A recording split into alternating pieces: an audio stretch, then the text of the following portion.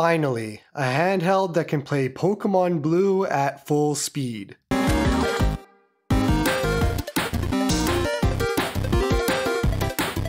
Hey everyone and welcome back to Joey's Retro Handhelds. I'm Joey and today we're going to be taking a first look at the AYN Odin 2. I say first look as this will just be a quick look at the device. This is not going to be my full review. I received it, played around with it, and want to make a quick video just to get some information out there and to give you an idea of what to expect from a first impressions perspective. Full disclosure, this device was sent to me for review by AYN directly. They have no input into anything I say, they haven't seen this video ahead of time, and they won't see the review video ahead of time either. Alright, let's jump right in because this is one I was super excited to receive and a lot of you are super excited to hear about. Let's get the specs and price out of the way right now. This handheld starts at 294 US dollars for the base 8 gig, 128 gig model, and it only comes in black. This is all through their Indiegogo campaign, which I'll link in the description.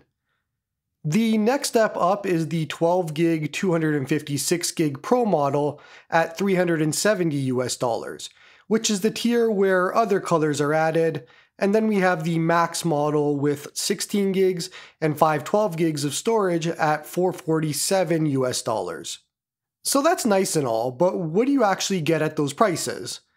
And the answer is everything but the kitchen sink. Seriously, the specs on this handheld are insane, especially for a 300 US dollar starting point. We have the Snapdragon 8 Gen 2, 8 to 16 gigs of RAM depending on the model, a 6 inch 1080p screen, micro HDMI, Wi Fi 7, Android 13, a massive 8000 milliamp battery, active cooling, analog triggers, Hall sticks, and the list goes on. Honestly, let me just show you it all today and you can go from there. For anyone not familiar with the processor, this is the same that Samsung used on their S23 lineup. And coincidentally, what I'm actually filming this video on with the S23 Ultra. This is an extremely powerful processor, that'll get us upscaled GameCube, Wii, PlayStation 2, and even Nintendo Switch. It's fair to say that for a lot of people, myself included, this is basically an endgame type processor and device for Android emulation and just gaming as a whole. Any game incompatibilities are due to the emulator, not the performance of the processor, especially at this point. So if your question is, can this handheld play X? The answer is yes. It's just yes. Let's take a look at what's in the box and then move on to the tour. They gave me their 100 watt charger, which I didn't use for this video, but I'll test that out for the full review.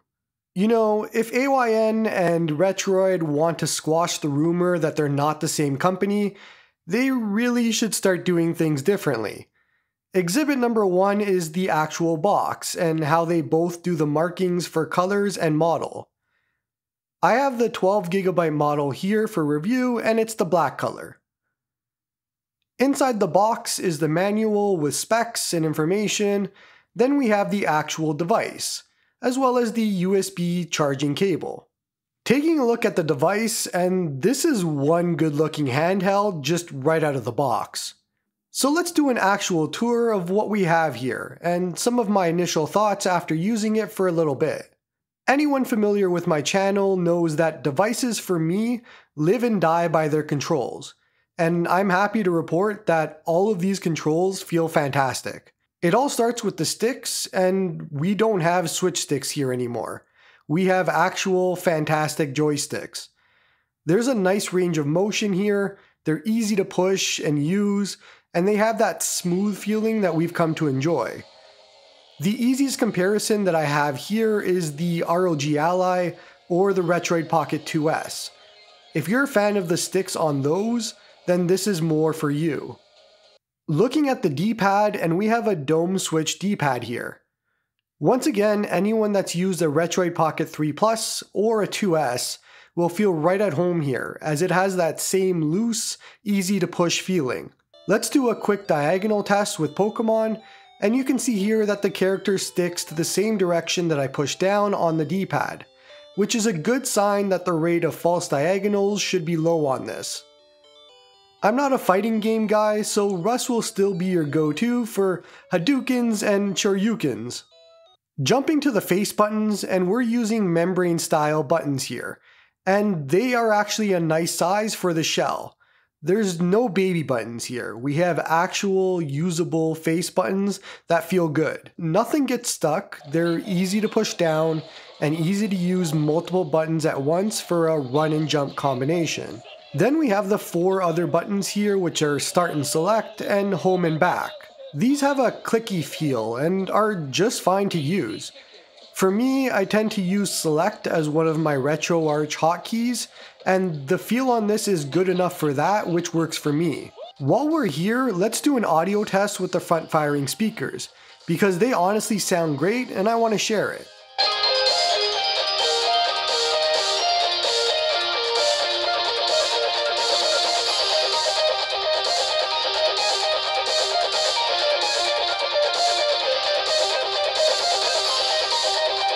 Looking at the top of the device, and we have the SD card slot, micro HDMI port, volume buttons, and power button. The power button is a bit recessed in, and it also acts as a fingerprint sensor, if you want that. But what we really care about is these triggers. L1 and R1 are nice and clicky and feel pretty good to use, but the L2 and R2 are where the magic's at. They're analog triggers, which are an absolute necessity for the type of games we can play on this device. And they have nice travel here and just overall feel great. I'm kind of repeating myself, but again, the controls on this device are fantastic. Then at the bottom of the device, we have the 3.5mm audio jack, which is nice to see that we still have that, especially given Android has Bluetooth audio lag issues in a lot of scenarios. And then we have the USB-C charging port here as well that supports 65 watt quick charging. So I'd suggest grabbing a 100 watt charger just for overhead in case. On the back, we have the fan intake as well as two mappable buttons. Now is a good time as any to talk about the fan. First, there were three known issues I was told about ahead of time for this device. And the first is currently there's no manual mode setting for fan speed, but it's on their list to fix. We'll talk about the other two issues later. So we have three profiles for fan. There's quiet, smart, and sport, and you can also just turn the fan off. Quiet is what I use for the entire video. It's not audible at all, and I have to put my ear right up against the back to make sure it's even running. Smart is the next step up, and that can get loud depending on the content, and Sport is the really loud fan option.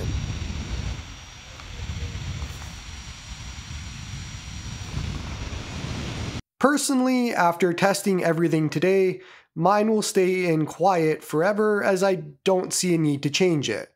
But if you're pushing the device to its limits, you might need that sport option. Now, I can't talk about the fan without talking about the performance modes. There's standard, performance, and high performance. I was in performance mode for the entire video. High performance locks you into only being able to do smart or sport fan modes, no quiet. Performance allows all three, and so does standard. Overall, from a fan noise perspective, it's basically the same as any x86 device when it gets really going, just to give you a point of reference. Now, overall, from an ergonomics and comfort perspective, this is honestly as good as it gets. This device feels fantastic to hold, and it's something that I don't think will ever need a grip, and they did a really good job with this. I can't overstate this enough. At no point have I felt tired holding this device or had any issues holding it. The weight, the ergonomics, and all of it are top tier. Before we talk about software, let's get into some size comparisons to give you an idea of where this fits in. First up is the AYN Loki, and it shares a lot of similarities with the Odin 2. Next, here's the Ayaneo Air Plus, since no one wants to buy this off me and it was around. For a larger comparison, here's the Asus ROG Ally. Just using those three for actual sizes to give you some sort of range to keep an eye on at home. I've never owned an Odin 1, so I can't compare it to that unfortunately. And then we have the S23 Plus with the Game Vice Flex controller, and this is how I've been using my S23 Ultra. Since I use my phone to film, I used my wife's S23 Plus instead for this comparison. But out of all of these devices, the Odin is the best and most comfortable feeling by far. Let's talk about the software now, and this is running Android 13 with AYN's custom build. Two things to mention here that are known issues. The boot logo and video isn't finalized, and they need to be redesigned. And their wizard tool has some UI elements that need to be improved. Neither of those take away from the device at all, so they're just kind of additions. One other issue that I've run into personally is if you're using the navigation mode instead of gestures, it doesn't seem to disappear in a lot of scenarios where you want full screen. I found this a lot in the Vita 3K emulator, where the controls just didn't want to disappear for me. Now, it's not a big issue and this is something that's probably easily fixable, but I couldn't figure it out. There's even a setting to allow it to disappear in full screen, and that also didn't work. So it's a minor issue, but it is something I want to mention so far.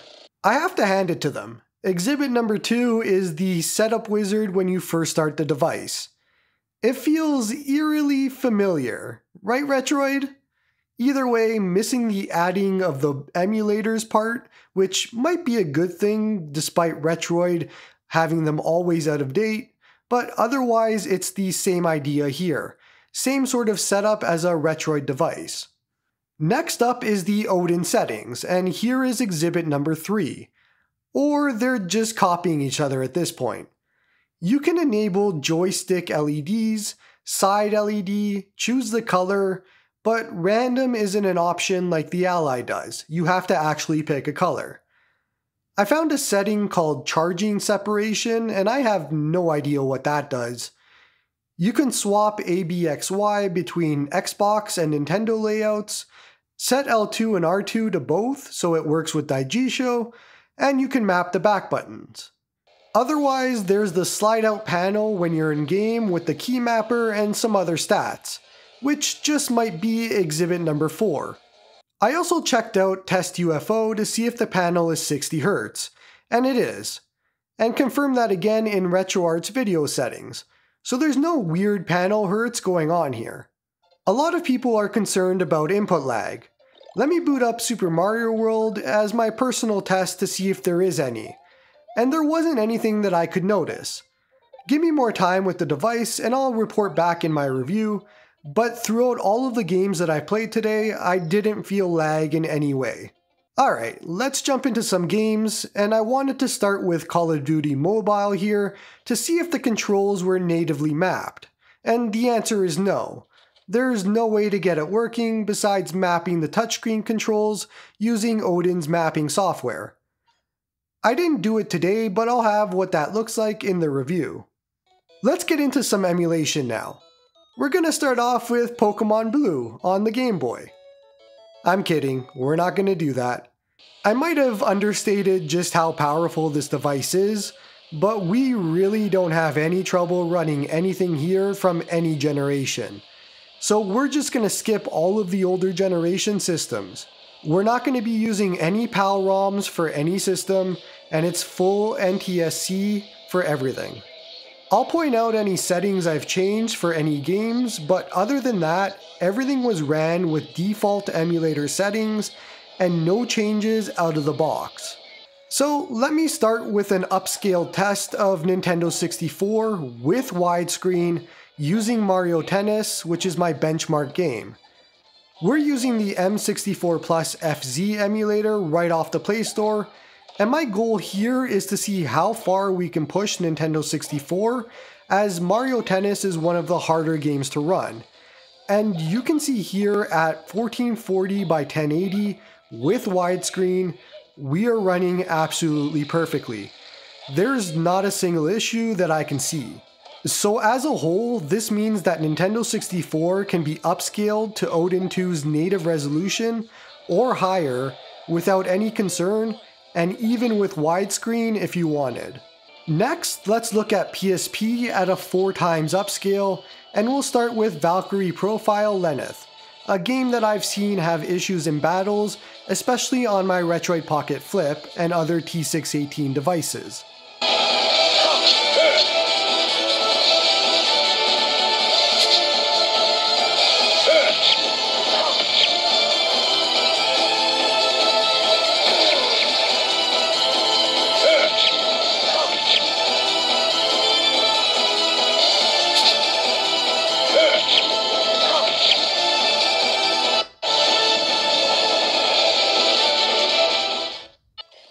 Take a look as well at another game here with YA7.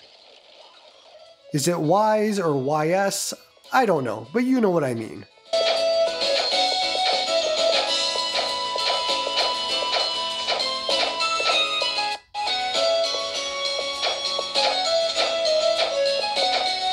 So yeah, four times PSP is achievable here, and every game is gonna run just fine. Moving on to Nintendo 3DS with a 4 times upscale to 1600 by 960. And we're using Citra MMJ here, and we're going to be looking at Tales of the Abyss to start.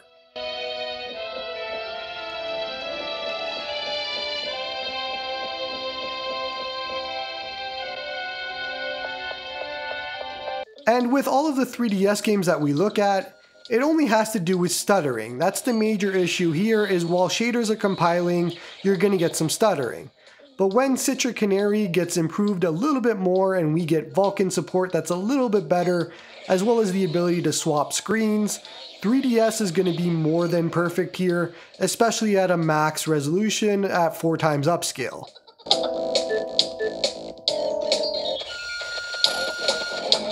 And now the good stuff. Let's do PlayStation 2 first here at a 3 times upscale, and we can actually start with Sly Cooper 1.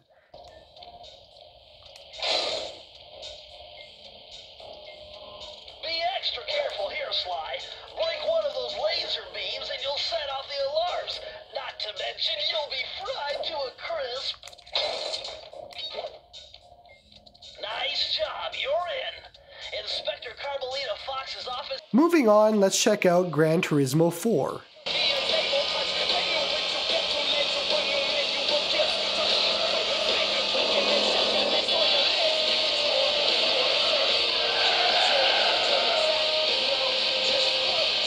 Okay, so both of those games are running perfectly.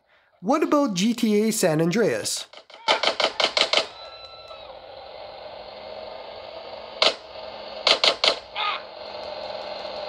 Expect some, huh, CJ? Yeah. Things has changed around here. CJ, watch your back around here, man. How'd it get so bad? I thought this was family's turn. Yeah, it's Temple Drive family. We don't roll with them no more. Move it, CJ, move it. And let's wrap up with a viewer request, and we have Ace Combat 4.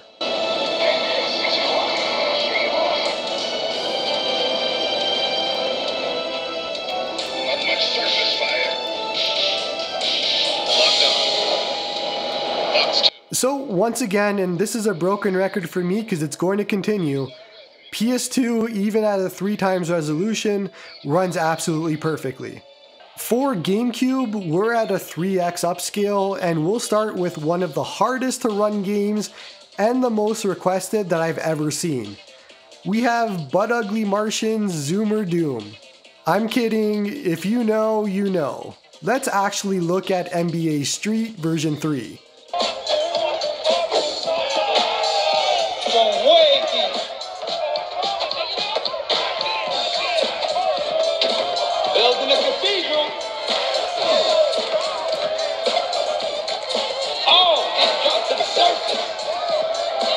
And now let's look at the big ones. Here's Twilight Princess.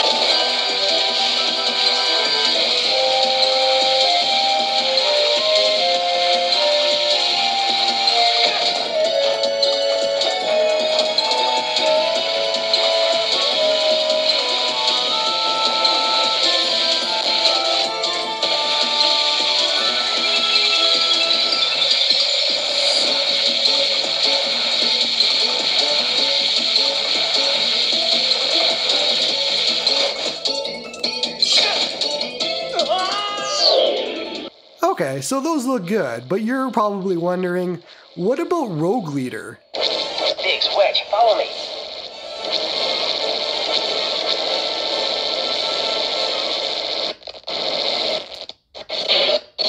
And yeah, at a 3 times resolution, Rogue Leader doesn't run super well. It runs better than you'd think, but not perfectly. But if we bump that down to a native resolution, then Rogue Leader is more than playable. And I don't know if it gets a little bit harder to run later, but in this first stage, it's absolutely perfect.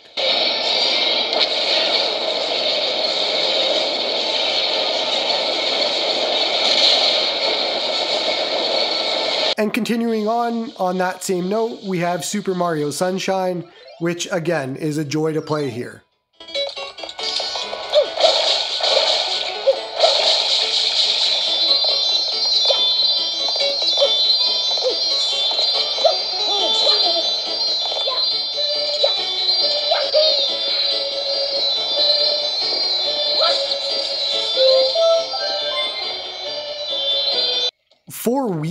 At a 3 times upscale, let's take a look at Donkey Kong Country Returns.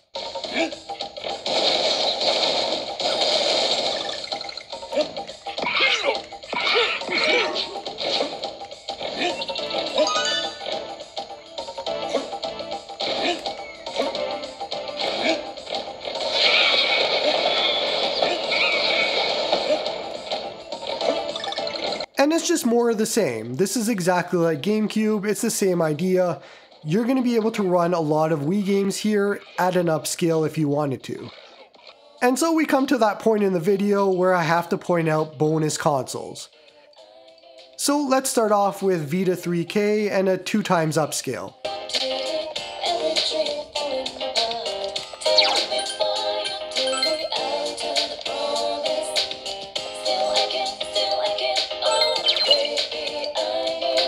And last on our list is Nintendo Switch. Starting with Link's Awakening because I wanted to use one game that actually needs a mod to work, or setting changes at least. If you don't mod this, you have the blur applied to Link, and so out of the box, this runs fantastic, but it needs the mod to work.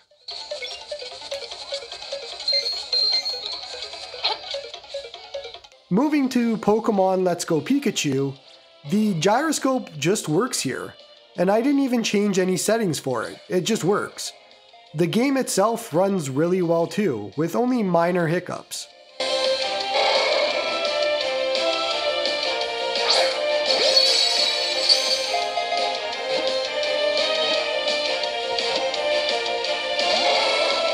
Let's look at a major one here, with Super Mario Odyssey. The start of the game has some dips, and it isn't full 60. But as you continue playing and moving on, you're going to find some stages that are 100% full speed and playable. This is actually really crazy to see, but don't expect this for every single stage.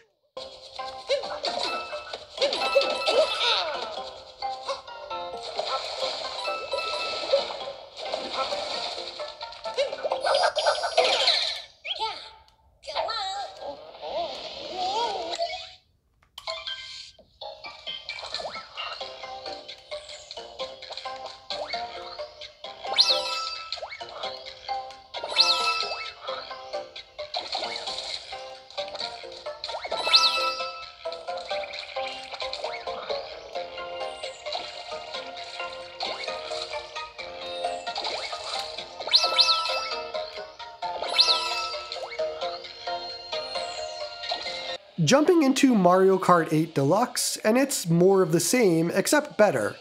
We're at a near 60 frame rate here almost throughout. As Yuzu continues growing, this will only get better, but this is what you get right out of the box with this handheld.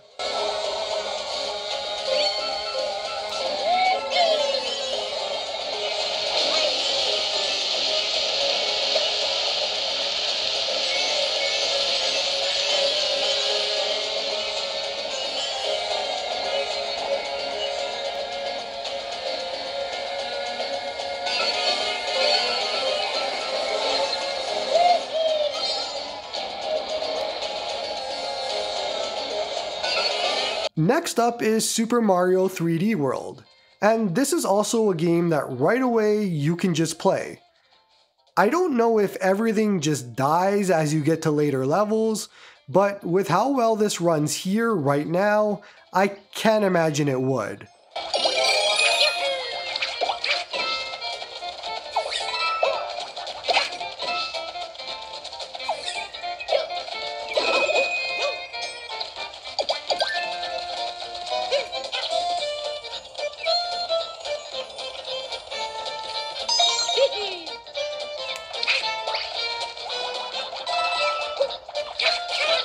Last but not least is Breath of the Wild, and I'm just gonna jump off a cliff, and then you're gonna see me die to a Guardian because I haven't played this game in years.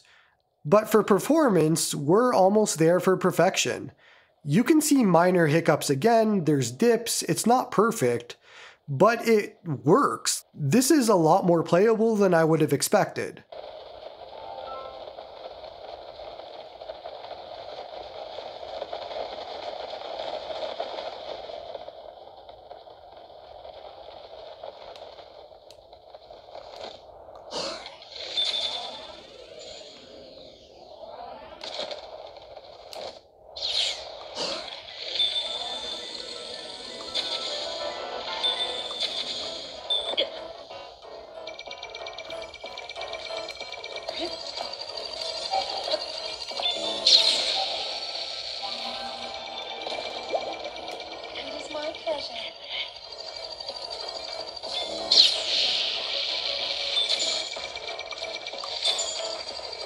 Let's wrap this up. This went way longer than I expected, and I only wanted it to be a quick short video to just give you a quick first impression. As I mentioned, this was not a review, this was meant to be more informational and to just give you an idea of what to expect from this device. I'll have my full review up within the next week or so. I don't want this video to be any longer, so if you just want my quick first impression in an opinionated format, the word of the day is wow.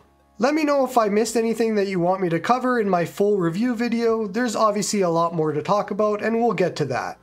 Don't forget to like and sub to help this channel grow, and hope you all have a good one.